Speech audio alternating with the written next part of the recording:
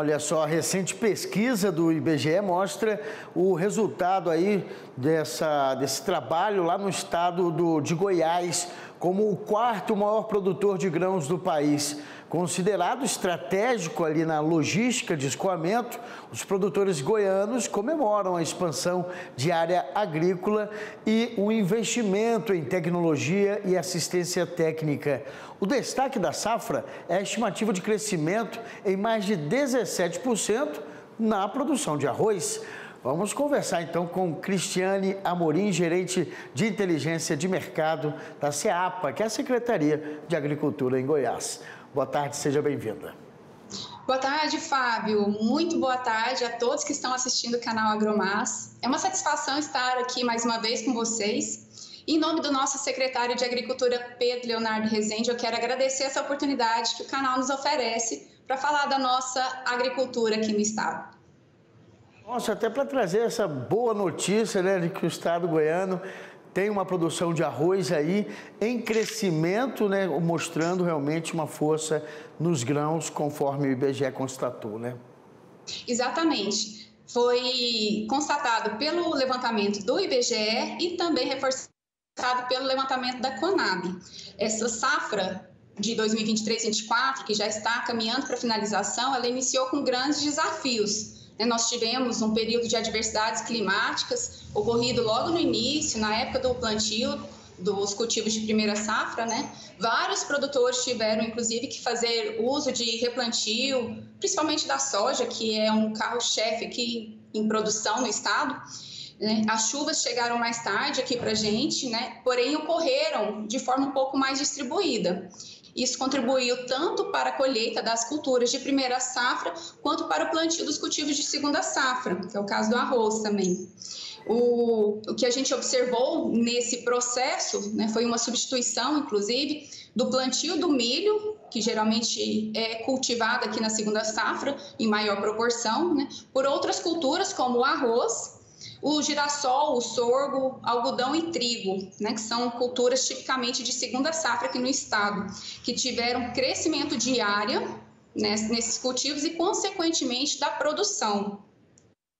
Tá certo. E, e, Cristiane, nós temos aqui que a pesquisa, então, mostrou 31 milhões de toneladas para a safra 2023-24, né, correspondente aí a 10,6% da produção nacional e ficando aí apenas atrás, portanto, de Mato Grosso, Paraná e, Mato, e Rio Grande do Sul, né, nessa questão é, de produção de grãos, mostrando uma força, mas eu acho interessante que a tecnologia, né, o investimento que foi feito pelo, pelo Estado também ajudou bastante nesse aumento de produtividade, né?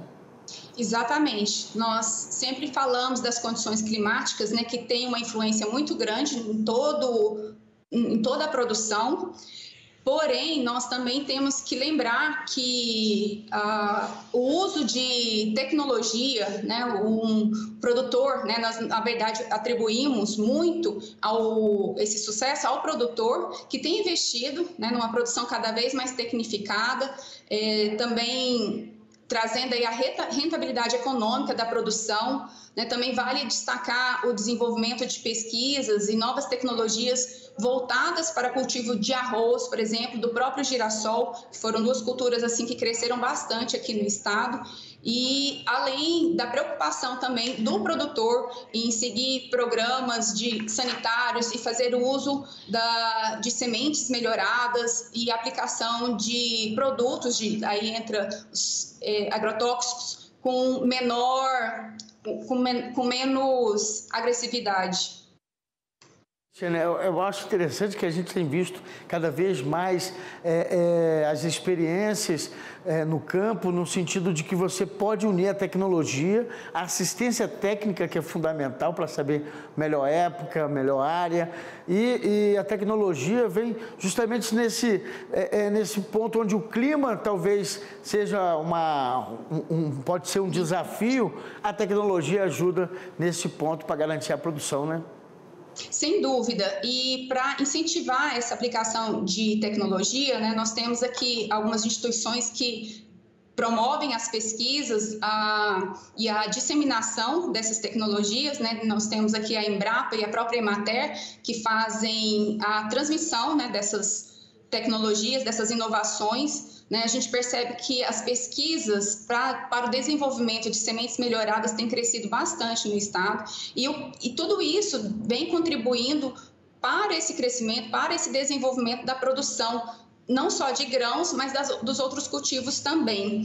E vale destacar que o produtor tem alguns incentivos também do governo, como alguns financiamentos, uso de crédito rural, né, que auxiliam na implementação desse, dessas tecnologias e dessas inovações.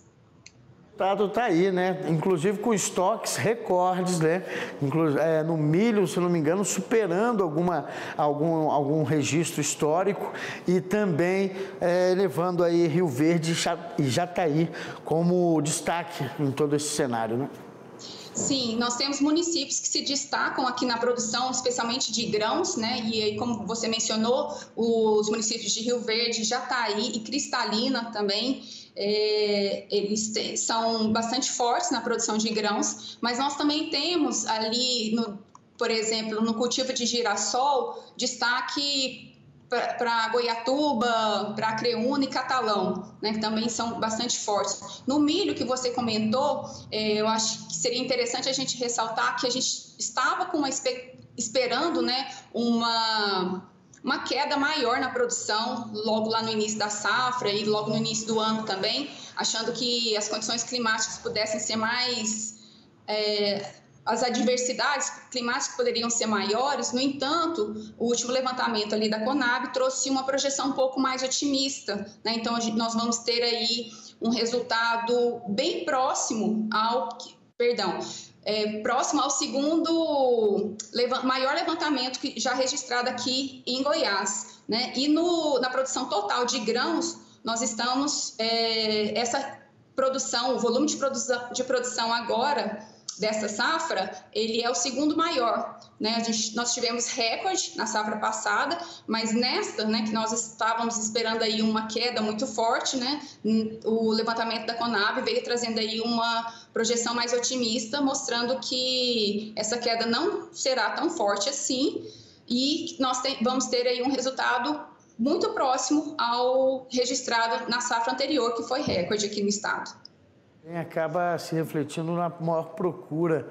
pelos produtos agrícolas aí no estado de Goiás, na questão do comércio, acaba também se expandindo, né?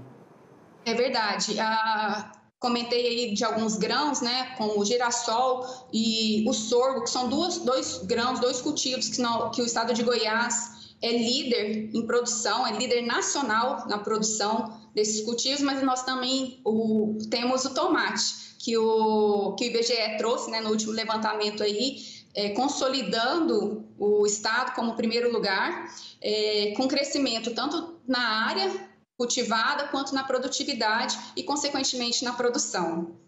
E parabéns então pelo trabalho feito aí pela Secretaria de Agricultura em Goiás, que tem trabalhado junto aos produtores, né? E a resposta bem positiva com este levantamento feito pelo IBGE e é um grande incentivo para outros produtores pelo país, inclusive aqui para o Distrito Federal, que está coladinho aqui com o estado goiano. Quem sabe a gente pode estar trazendo novos números aí cada vez mais crescentes. Muito obrigado, então, pela entrevista a Cristiane Amorim, que é gerente de inteligência de mercado da CEAPA. Muito agradecido, uma boa tarde.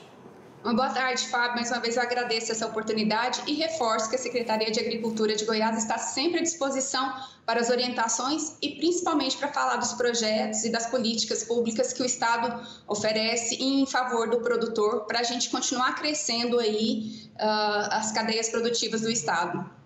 Tá aí, olha só, né? Essa trinca, né? Pesquisa, investimento em tecnologia, você vai ter também a produtividade aumentada aí na sua região, né?